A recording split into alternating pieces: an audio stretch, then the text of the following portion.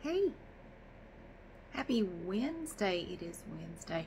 I do apologize for coming to you in front of my heater. I ate a salad a little while ago and I got cold. Have you ever had that happen? I ate a salad and then I just got like chilled. I, I got cold and I couldn't get warm. And I went ahead and I recorded the voiceover for the video I'm making for my other channel. And then as soon as I got done, I got down here and I had my salad and then and then I got cold and I just I want to stay in front of the heater. That's my microphone back there. Sometimes when it shows up in the video, people go, "What the hell is that?" It's a microphone. It's a calm down. It's not what it, it's a damn microphone. Shut up. Every time that every time somebody says, "What is that in the background?" You're not going to find anything exciting in the background of any of my videos. Honey, look, I've been married three times. I got two kids. Any exciting shit that you would have ever seen in the background and any anything I ever did has been gone for a very long time. Okay, there ain't nothing exciting going on around here. My idea of a wild night is going to pick up pizza at 9 o'clock.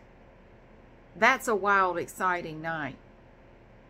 You you know what though? You get to a certain age, you get to where you appreciate that. You know, I do. I appreciate it. I had my fun. I puked off enough balconies. I, I had my wild and crazy days when I was younger, and that's fine. But you do just kind of reach a point where it's like, you know, that's kind of boring. Well, it got it got boring to me. I thought it was kind of boring. I know I had this. Did I have this on yesterday? I probably did. I've been lounging. I, I wear it when I'm just lounging around the house. I'll wear I'll wear something for like two days off and on. I don't wear it all day. I have stuff on under it. I just, you know, I'll wear it for a couple days, then I'll wash it and I'll put on another one. But this is one of my favorite hoodies because it's it's really comfortable.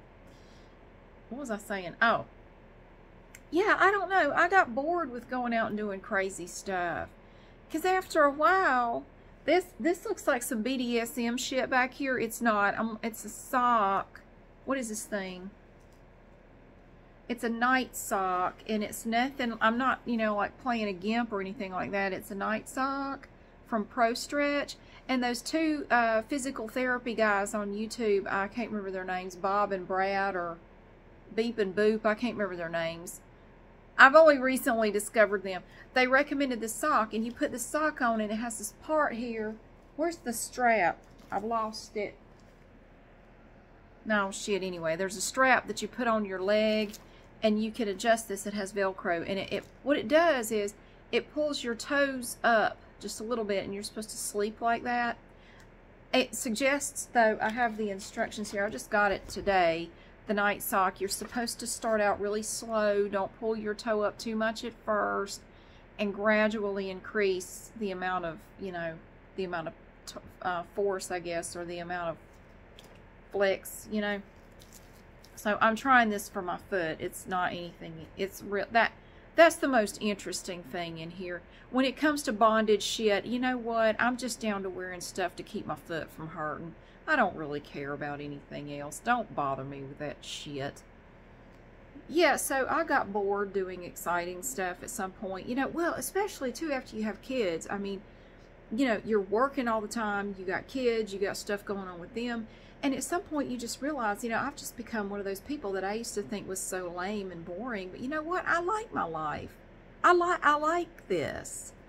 Maybe to other people it does look lame and boring. It's actually really nice and if I'm being honest, I I'm enjoying these years much more than I enjoy those wild and crazy years. I really am. I mean, I'm glad I got to experience it, but I moved on from it and I'm glad I did. I'm glad I went on and did other stuff. I'm glad I had kids. I am. They're they're awesome. they are. And I guess when you're on the outside looking in, it can look lame and boring, but I'm happy. I like my lame and boring life. I'm rolling my foot on a little foot massager thing. My, my foot is, well, it is what it is. I went by the Good Feet store today, though, and they were really nice. I went in there to talk to them about my insoles that I got from them a while back and the fact that I was still having so much pain. So what they're doing, they have swapped out one of my insoles, and they're going to, um, I'm going to try that for a little bit and see if it feels any better. I wore it for like half the day today. Um, it did actually feel a little bit better. It did seem to help some. And I, am going to keep wearing it to see if it helps. I'm still going to the foot doctor in February. I'm not. I'm still doing that, but I'm trying that as well. Like you know, I paid good money for these insoles, and they, you know, right now I don't feel like they're really helping me. So I just went by there to see. Like, here's the problem: is is there anything y'all can do? I mean, you know, I paid a lot of money for these insoles, and I just don't feel like they're doing anything anymore. They don't really help.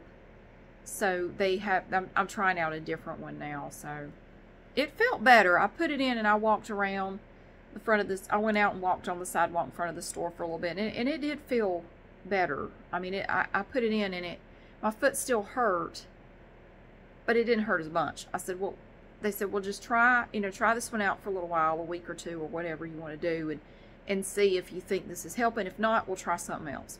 So they were very helpful, very, very nice, very helpful.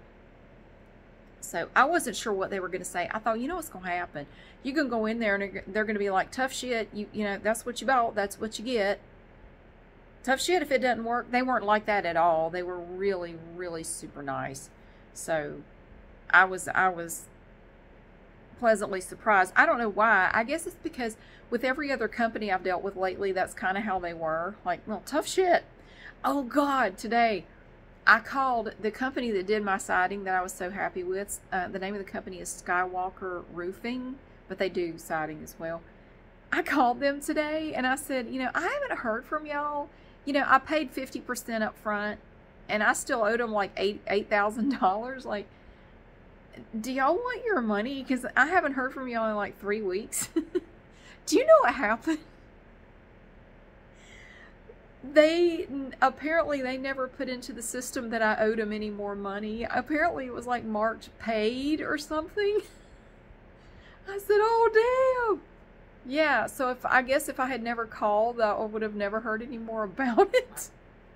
I would have paid him anyway because it's it's you know like I owe you that money. This is what I agreed to pay. But yeah, she said it's crazy. It was put in as like paid or something like like you were done. That's why you didn't hear from us oh, well, shit. nah. So, yeah, apparently if I hadn't called, they would have never. I'm sure they would have called it eventually, right? Maybe not. I mean, if it was in the system as paid or, you know, not due for some reason, maybe not. That's crazy. But I did get it. I, I got gave them the payment information, so it's paid. So I'm completely done with that and hopefully soon I'll get some new shelves for my kitchen cabinets that don't do like this. I'm getting some solid birch shelves put in my kitchen cabinets.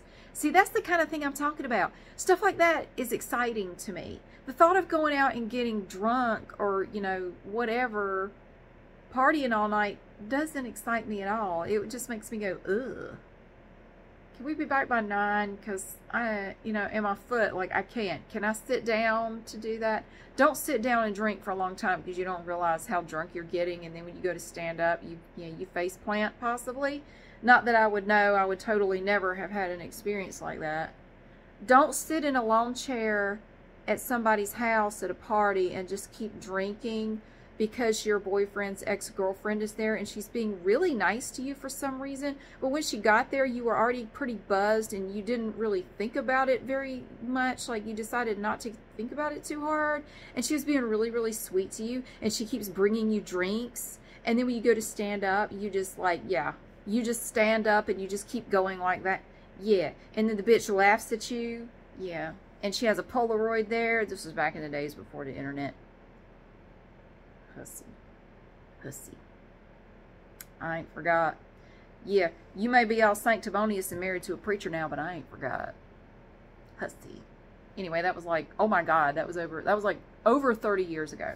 Anyway, I had my wild and woolly days, and now I'm calm, and I don't do that anymore, and I'm, I'm happy. I like it. I, I feel that I, I very gently and gracefully eased into like middle-aged woman territory. And I feel that I will sail into old lady territory as long as my foot is not bothering me. I don't deal well with pain. I've discovered that. Like long-term pain. I'm not interested in that shit. I'm not interested in that. But you know what's really sad? Yeah, I was engaged when I was 16. I've mentioned that before. Yes, I was. I was engaged to a, a, a bad boy. You know, he was in and out of jail. He dropped out of high school at 16. He was uh, about three years older than me. Almost, yeah, about three years older than me. He was in and out of jail. He didn't work. He lived with his grandma. He lived in his grandma's basement. You know, he was he was a loser. And you know, he loved to party, party. Like that was his whole personality. There wasn't really much else to him. He was a good drummer. He loved he loved music and he he played in a couple of bands and he was a damn good drummer when he was younger. I don't know about anymore, but you know, oh, I loved him. You know, it's a classic example of not getting any attention at home, so you go look for it elsewhere, and typical. And oh, I loved him. My parents hated him. Well, my mom didn't mind him too bad. My dad hated him because he had long hair, and my dad was in Vietnam, and he was not a big fan of long-haired hippie type people, you know. And uh, he, yeah, they were not treated well when they came home, and so he hated this guy. But it didn't matter because my dad and I really had no relationship at that point anyway, so I didn't really care how he felt about him. We lived in the same house, but we had no relationship at all. We went for nine years and he wouldn't speak to me, but that's a story for a whole other day. Yeah, that didn't fuck me up at all. Excuse me. Pardon my language. This guy, he loved to party. Like that was his whole personality. And and I, you know, he popped up on Facebook as a friend suggestion like other people you may know like well i know these people but i'm not friends with them because they suck i know those people you don't need to tell me about them i know who they are i know damn well who they are and i don't want to be friends with them quit suggesting them so i have to tell it for certain people like quit popping this person up. I know that bitch is on here. I don't want to be friends with her. If i wanted to be friends with her i already, would, I already would be. So he popped up just out of nowhere like oh god. And I saw a picture of him. It's like, oh God. So keep in mind, now this was like a year ago. So a year ago, he would have been 51. This dude was 51. 51. Still trying to dress like it's 1987. I mean, literally, he wears the exact same clothes. He looks like Beavis from Beavis and Butthead, but his hair is, he's going bald, but he won't let go of the long hair. So it's like his hair is just sliding back on his skull, but he just will not cut it. Like, no, I'm going to cherish my locks, even though they're really thin and stringy and just look really, really bad. And no, I will not cut this hair. I, I embrace my long hair. So I guess he's had long hair this whole time, wearing like a shredded Pantera t-shirt, the holy jeans, you know, got like the chains hanging from his belt loops and rock and roll, party, or whatever the fuck it is. I don't know. And I saw that picture, and he wasn't dressed up for a costume party. No, no, no. This is how this dude just looks. This is Tuesday for him. This is how he is. And I, and it honestly, I'm looking at it, and in a way, it made me sad. I was like, damn, you haven't changed a bit. And sometimes when you say that, that's not a good thing. You haven't changed at all. Like, you haven't grown up at all. You still have no job, no car, no money. I don't know where you're living because your grandma's bound to be dead by now. What the hell are you doing? Oh, God. But then I thought, well, I mean, shoot. If he's happy, what does it matter? What's it to you? I mean, if he's happy, let him be happy. I want nothing to do with him. My God, he would drain me emotionally, mentally, and financially. No, thank you. There is nothing I want there. I wouldn't touch that with a hazmat suit on because I don't know where you've been, but you've been rode hard and put up wet. You just stay over there wherever the hell you are. I am not interested.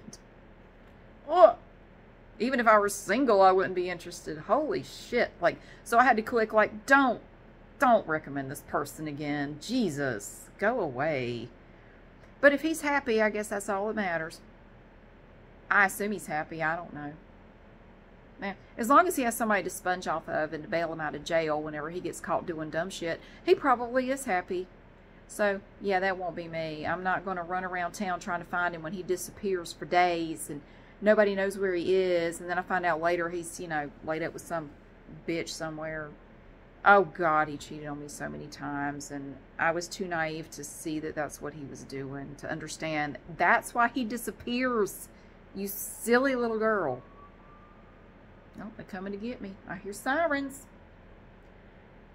But I am happy to look back at pictures of me from 30 plus years ago and go, yeah, I'm not, I, I have changed. I've changed a lot since then. And that makes me happy. But I guess if it makes him happy to not change, well, mission accomplished. You have not changed at all since the last time I saw you. Last time I saw him was in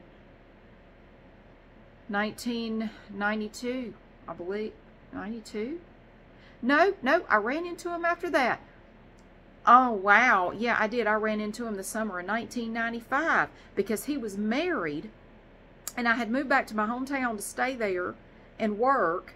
And uh, I was living in this my, the trailer I grew up in. My mom had the property, and I was renting it from her for hundred dollars a month.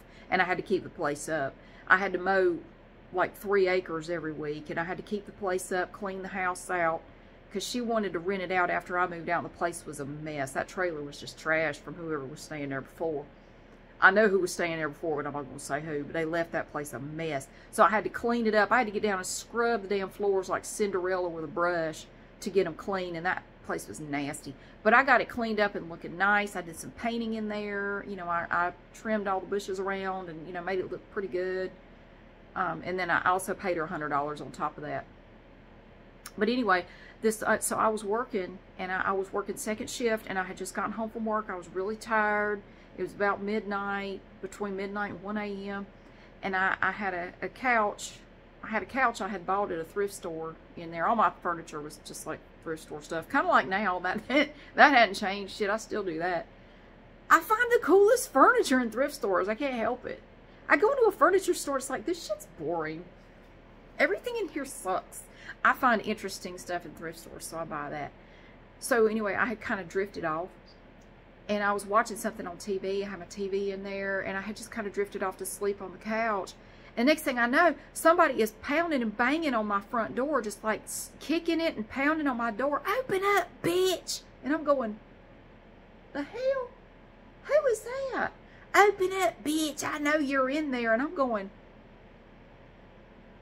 all right then. So she was about to knock the door down. I mean, the door was not that sturdy, you know. It's like, she's going to bust the door down. What in the hell? So I said, hang on a minute, hang on a minute. And I got up. I was terrified. I opened the door because I'm not. I was. I was 21 and not very smart. I just opened the door. I knew who it was. I'm not gonna say. I'm not gonna give you details. I knew who she was. And I, I couldn't figure out why. Why are you banging on my door? And she came in there, and I, I knew that she was married married to the guy that I used to be engaged to. I broke up with him, by the way. Have I ever been dumped? I guess you could say I was dumped, kind of dumped. I was basically ghosted, though. I dated this guy for a while, and then he just kind of disappeared. Does that count as being dumped? That's the only time. If that counts, that's the only time I've ever been dumped. Anyway, I knew he was married to her. That's all I knew. I, I had heard around town that they were married, like okay, fine. I, I didn't really care. Like I had I had a broken heart for a long time when I he made me choose between going back to college or being with him, and I chose to go to college. And, and he said, well, that's the end of us then. And I was heartbroken for several years. I really was. And uh, a lot of my partying was a way to try to forget how heartbroken I was. And um, but I was kind of over it at this point. Like, okay, fine. Well, I hope they're happy together. I, you know, whatever. So she comes into my house with a box cutter. She still, I still remember what she had on. She had on a peach colored tank top and these white Daisy Duke shorts. And she comes in there in all her trashy glory and she's got, you know, her caked on makeup, the big freezy perm, and she's waving a box cutter in my face like, where is he? Where is he, you bitch? You bitch. And I said, who are you talking about? You know who. And she, you know, the guy's name. I said, he's not here. Yes, he is. And see, somebody had broken into my house like a week prior. Because I came home from work one night and I realized some stuff was missing. Now that is a freaky feeling to come home and realize somebody's been through your house.